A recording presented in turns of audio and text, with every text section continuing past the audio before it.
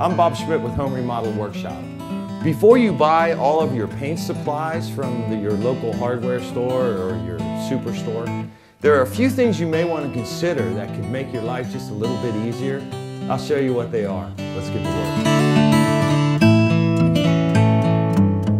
Although this is your typical paint can, you can see the problem. When you dump paint out of this can into a container, uh, the drips that overflow have a tendency to run down the side of the can, making it difficult to read the type and instructions, although you can actually see the color it is.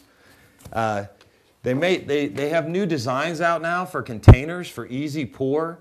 Uh, this one here in particular I like because it has a extended spout that after you take the uh, top off of it, the spout doesn't allow that paint to drip down onto the side of the can. Also, there's a little reservoir in here that whatever does drip past here will run back around and go back into the can, hence not having that mess all over the side of your can. Paint pan. Nobody likes to clean them. They're all pretty much the same design. They've looked the same for years. Uh, but when you're not working with a latex paint, uh, yeah, you can buy a liner, a disposable liner that goes in here so that it, it makes it less difficult to clean.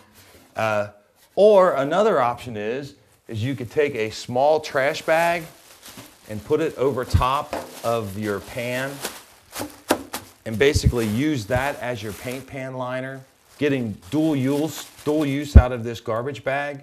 Uh, another, another bag that seems to get thrown away a lot is your, uh, your bags that you get from the grocery store or from you know, Home Depot. Uh, again, you can wrap this into the pan and that for, for non-latex paint, you can put it in here and it'll keep the, keep the cleanup to a minimum.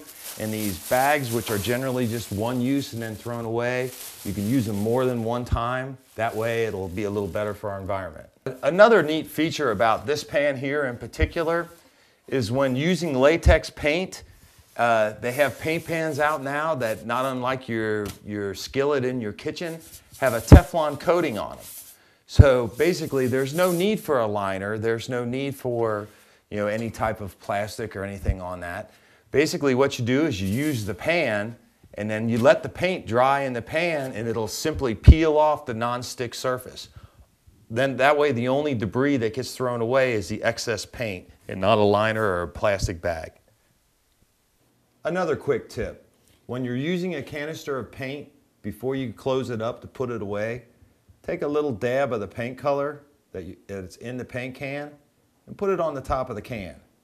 Then when you're going back down there later, sorting through those 400 cans to look for that shade of paint that you put on your walls, it'll be a lot easier visual to see to find it later. So there you go, at least with this Teflon coating, uh, you're back to good as new again. You're ready to paint the next time nothing will get in your new paint and keep your wall looking good.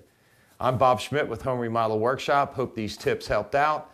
Uh, if you're interested in this video, please subscribe. If not, please go back and check out our home channel. We have many other topics and videos there.